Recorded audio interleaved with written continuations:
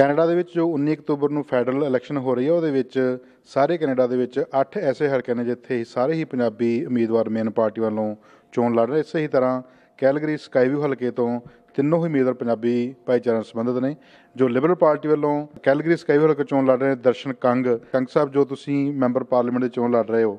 ਤੁਸੀਂ ਪਹਿਲਾਂ ਵਿਧਾਇਕ ਰਹੇ ਹੋ ਦੋ ਵਾਰਾਂ। ਹੁਣ ਤੁਸੀਂ ਕਿੰਨਾ ਕਿੰਨਾ ਨੀਤੀਆਂ ਕਰਕੇ ਫੈਡਰਲ ਚੋਣਾਂ ਲੜ ਰਹੇ ਹੋ? ਨੀਤੀਆਂ ਜੀ ਜਿਸ ਤਰ੍ਹਾਂ ਕਿ ਆਈ ਥਿੰਕ ਜਿਹੜੀ ਹਾਰਪਰ ਸਰਕਾਰ ਹੈਗੀ ਆ ਆਈ ਥਿੰਕ ਇਹਨਾਂ ਨੇ they have let Canadians down they have let Albertans down ਜਿਹੜਾ ਆਪਾਂ ਰੈਸੈਸ਼ਨ ਵੀ ਦੇਖ ਰਹੇ ਹੈਗੇ I think it's because of the the policies of the Harper government ਜਿਹੜੀਆਂ ਇਹਨਾਂ ਨੀਤੀਆਂ ਸੀਗੀਆਂ, ਕਿਉਂਕਿ ਇਹਨਾਂ ਨੇ એનર્ਜੀ ਇੰਡਸਟਰੀ ਨੂੰ ਸਪੋਰਟ ਨਹੀਂ ਕੀਤਾਗਾ ਤੇ I think we we are in recession ਤੇ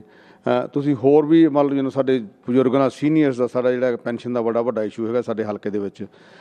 ਹੈਲਥ ਕੇਅਰ ਦਾ ਵੀ ਇਸ਼ੂ ਹੈ ਕਿਉਂਕਿ ਹੈਲਥ ਕੇਅਰ ਗਵਰਨਮੈਂਟ ਫੰਡਿੰਗ ਕੱਟ ਕਰਨ ਜਾ ਰਹੀ ਹੈਗੀ ਆ। ਅ, 30 36 ਬਿਲੀਅਨ ਡਾਲਰਸ ਦੇ ਕੋਲੋਂ take take take it out of Medicare ਜਿਹੜੀ ਸਾਡੀ ਟ੍ਰਾਂਸਫਰ ਪੇਮੈਂਟਸ ਹੈਗੀਆਂ। ਤੇ ਫਿਰ ਜਦੋਂ ਦੀ ਇਹ ਸਰਕਾਰ ਬਣੀ ਹੈਗੀ ਆ ਇਹ ਕਲੇਮ ਕਰਦੇ ਹੈਗੇ ਵੀ ਅਸੀਂ ਜਿਹੜੇ ਇਕਨੋਮੀ ਦੇ ਬੈਸਟ ਮੈਨੇਜਰ ਹੈਗੇ ਆ। ਜਦੋਂ ਦੀ ਇਹ ਆਪਣਾ ਹਾਰਪਰ ਸਰਕਾਰ ਕੰਸਰਵੇਟਿਵ ਸਰਕਾਰ ਬਣੀ ਹੈਗੀ ਆ ਤੇ ਉਦੋਂ ਤੋਂ ਲੈ ਕੇ ਸਾਡੇ ਜਿਹੜੇ ਸਾਡੇ ਸਾਰੇ ਬਜਟ ਡੈਫਿਸਿਟ ਹੋਏ ਹੈਗੇ ਆ। ਪਰ ਹੁਣ ਤੁਸੀਂ ਲਿਬਰਲ ਪਾਰਟੀ ਵੱਲੋਂ ਤੁਹਾਡੀ ਪਾਰਟੀ ਜੇ ਸਰਕਾਰ ਬਣਾਉਂਦੀ ਹੈ ਤਾਂ ਕੀ ਲੋਕਾਂ ਦਾ ਕੈਨੇਡੀਅਨ ਵਾਸਤੇ ਕੀ ਕਰੇਗੀ? Right now we need jobs we don't need to balance the budget ਜਿਹੜੀ ਸਾਡੀ ਫਰਸਟ ਪ੍ਰਾਇੋਰਟੀ ਹੈਗੀ ਆ we need to kick start the economy ਤੇ ਇਕਨੋਮੀ ਕਿਕ ਸਟਾਰਟ ਤਦ ਇਹ ਹੋਊਗੀ ਅਗਰ ਅਸੀਂ ਜਿਹੜੀ ਜਿਹੜੀ ਸਰਕਾਰ ਹੈਗੀ ਉਹ ਇਕਨੋਮੀ ਦੇ ਵਿੱਚ ਪੈਸਾ ਪਾਊਗੀ। ਕਿਉਂਕਿ ਜਿਹੜੇ ਸਾਡੇ you know you name it roads bridges hospitals you know ਜਿਹੜਾ ਸਾਡਾ ਇਨਫਰਾਸਟ੍ਰਕਚਰ ਡੈਫਿਸਿਟ ਹੈਗਾ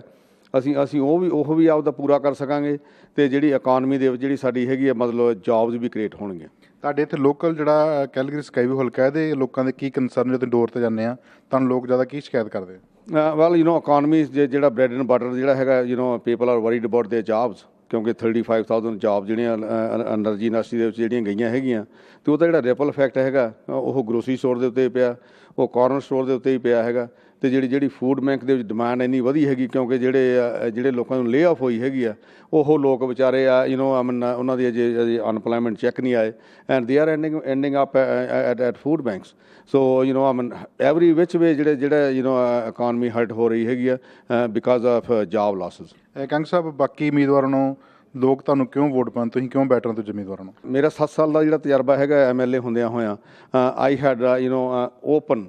open door policy accessible ਆ ਵਾਸ ਆ ਵਾਸ ਐਕਸੈਸਿਬਲ 24/7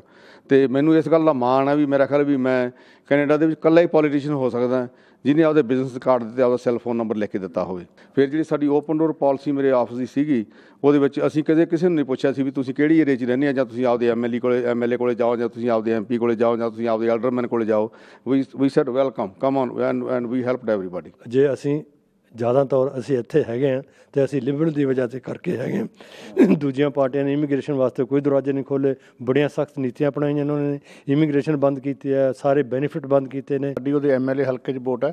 ਉਹ ਦੋ ਵਾਰੀ ਸਾਡਾ ਐਮਐਲਏ ਬਣਿਆ ਜੇ ਅਸੀਂ ਰਾਤ ਨੂੰ ਫੋਨ ਕੀਤਾ ਤਾਂ ਹਾਂ ਕਰੀਏ ਜੇ ਦੁਪਹਿਰੇ ਫੋਨ ਕੀਤਾ ਤਾਂ ਵੀ ਹਾਂ ਕਰੀਏ। ਜਦੋਂ ਵੀ ਅਸੀਂ ਉਹਨੂੰ ਬੰਗਾਰਿਆ ਸਾਡੇ ਕੰਮ ਧੰਦੇ ਆਇਆ ਤੇ ਸਾਡੀ ਉਹ ਵੱਧ ਚੜ ਕੇ ਮਦਦ ਕੀਤੀ ਹੈ। ਪਹਿਲਾਂ ਤਾਂ ਬਜ਼ੁਰਗਾਂ ਦੀਆਂ ਪੈਨਸ਼ਨਾਂ ਨੂੰ ਰਗੜਾ ਠੋਕਤਾ। ਦੂਸਰਾ ਹੁਣ ਅਸੀਂ ਸਾਡਾ ਵੋਟ ਦਾ ਹੀ ਹੱਕ ਖੋਲਿਆ ਵੋਟ ਤਾਂ ਪਾਵਾਂਗੇ ਜੇ ਸਿਟੀਜ਼ਨ ਬਣਾਂਗੇ। ਸਿਟੀਜ਼ਨ ਆ ਬਜ਼ੁਰਗ ਬਣ ਹੀ ਨਹੀਂ ਸਕਦਾ। ਐਫਏਬੀਏ ਮੁੰਡਾ ਹੀ ਬਣੂ ਪੜ ਕੇ ਇੰਗਲਿਸ਼ ਪੇਪਰ ਕਰਤਾ। ਲਿਬਰਲ ਪਾਰਟੀ ਦੀਆਂ ਮੇਨ ਜਿਹੜੀਆਂ ਦੋ ਚਾਰ ਗੱਲਾਂ ਵੱਡੀਆਂ ਤਾਂ ਇਹ ਹੈ ਵੀ ਜਿੰਨੇ ਅਸੀਂ ਇੱਥੇ ਇਮੀਗ੍ਰੈਂਟਸ ਹਾਂ ਇਹਨਾਂ ਨੂੰ ਬਹੁਤ ਜ਼ਿਆਦਾ ਸਪੋਰਟ ਕਰਦੀ ਹੈ। ਜੋ ਕੈਨੇਡਾ ਦੇ ਵਿੱਚ Liberal Party Conservative Party NDP party ਮੁੱਖ ਤੌਰ ਤੇ ਚੋਣ ਲੜ ਕੇ ਮੈਂਬਰ ਪਾਰਲੀਮੈਂਟ ਦੀ ਵੱਧ ਤੋਂ ਵੱਧ ਗਿਣਤੀ ਦੇ ਵਿੱਚ ਜਿੱਤ ਕੇ ਪ੍ਰਧਾਨ ਮੰਤਰੀ ਬਣ ਕੇ ਕੈਨੇਡਾ ਸਰਕਾਰ ਬਣਾਉਣ ਦੀ ਕੋਸ਼ਿਸ਼ ਕਰ ਰਹੇ ਨੇ। ਇਹ ਤੇ ਆਉਣ ਵਾਲਾ ਸਮਾਂ ਦੱਸੇਗਾ ਕਿ 19 ਅਕਤੂਬਰ ਨੂੰ ਲੋਕ ਕਿਸ ਪਾਰਟੀ ਨੂੰ ਬਹੁਮਤ ਦੇ ਨਾਲ ਜਿਤਾਉਂਦੇ ਨੇ, ਕਿਹੜੀ ਪਾਰਟੀ ਸਰਕਾਰ ਬਣਾਉਂਦੀ ਆ। ਅਸੀਂ ਆਸ ਕਰਦੇ ਹਾਂ ਕਿ ਜਿਹੜੀ ਵੀ ਪਾਰਟੀ ਸਰਕਾਰ ਬਣਾਵੇ, ਕੈਨੇਡਾ ਦੇ ਭਲੇ ਵਾਸਤੇ ਜੋ ਰੈਸੈਸ਼ਨ ਆਇਆ, ਉਹ ਤੋਂ ਲੋਕਾਂ ਨੂੰ ਕੱਢਣ ਵਾਸਤੇ ਜੌਬਸ ਕ੍ਰੀਏਟ ਵਾਸਤੇ ਕੰਮ ਕਰੇਗੀ। ਕੈਮਰਾਮੈਨ ਰਣਜੀਤ ਹੰਸ ਦੇ ਨਾਲ ਗੁਰਪ੍ਰੀਤ ਸਿੰਘ ਮਾੜੀ ਮੇਗਾ ਪੀਟੀਸੀ ਨਿਊਜ਼ ਕੈਲਗਰੀ ਕੈਨੇਡਾ